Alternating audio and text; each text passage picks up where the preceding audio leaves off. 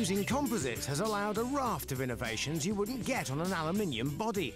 It's permitted a squarer fuselage cross-section, which means a larger baggage hold below and more overhead cabin space. I mean, look at the size of these bins. And the windows can be 50% larger than a normal plane. The 7E7 is pioneering other technologies too. There are no window blinds. They get dark electronically, like photoreactive sunglasses. Whoa! Boeing have also come up with this. It's a shower that fits inside an aeroplane. Now, which, looks a bit, it looks a bit like a washing machine, actually. And um, so I'm about to commence the spin rinse cycle. So I do that, I press that button. Oh! Oh! Oh! oh I'm being instructed to soak myself. It's giving me instructions I'm being rinsed. Apparently as well, it only takes a litre and a half of water and I'm really quite wet. Ah! I'm being turbocharged!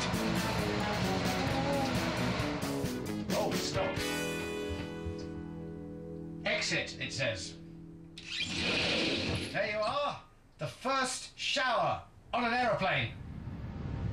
Luckily for Boeing, whether the airlines buy the 7E7 won't depend on that shower. It's the savings in efficiency that will decide the company's future.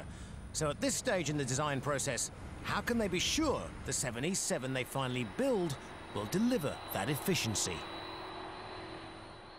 Nobody builds prototypes anymore. It's a very expensive business. 90% of all the development is done on computers these days.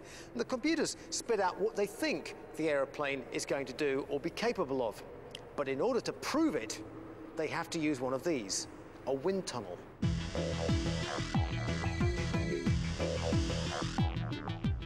Welcome to the latest member of my fan club. And this truly generates a mighty wind. Here at QinetiQ in Farnborough, they test aeroplanes. But even though this place is vast, it's not big enough to put a full-size aeroplane in. So they use a scale model. I've been granted access to one of the most commercially sensitive places on the planet. The Model Bay in Europe's largest heavy lift wind tunnel.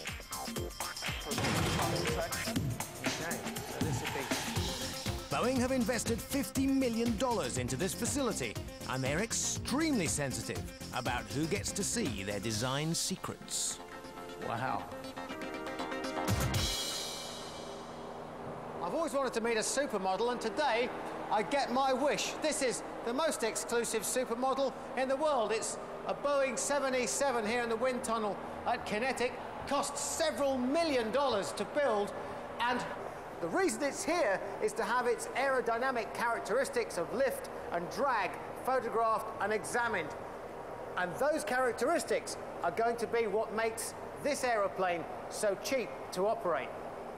To get the clearest picture of the airflow over the model, they attach small, luminous tufts and film it using ultraviolet light. Bit like a 1980s disco. The Boeing engineers here are keeping everyone in the dark and they're very tight-lipped about their design secrets. But judging from the test setup, I'd say they're looking very carefully at the tail. On the other hand, if they told me that, they'd have to kill me. One thing I am able to divulge, though, is that Boeing's 7E7, with whatever shaped tail they finally settle on, is due to carry its first passengers in 2008.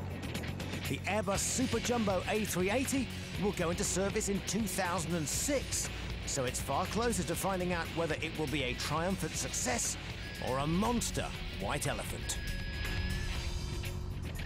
Skeptics say that this aeroplane is simply too large, that passengers don't want to fly with 549 of their fellow passengers on board, that you can't evacuate this kind of aeroplane quick enough in an emergency, that Airports simply don't want to handle anything this large, but Airbus have an answer to those problems. Airbus say, let the airlines decide, and the airlines have decided. They've voted with their checkbooks, and they've ordered more than 130 examples already. And at $285 million a pop, well, you do the maths.